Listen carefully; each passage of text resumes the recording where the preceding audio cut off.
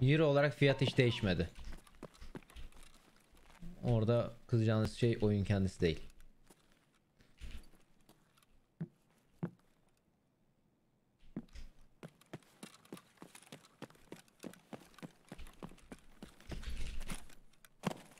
Yok mu? Wow. Yani 400 470 470 TL'ydi. 1K değil mi?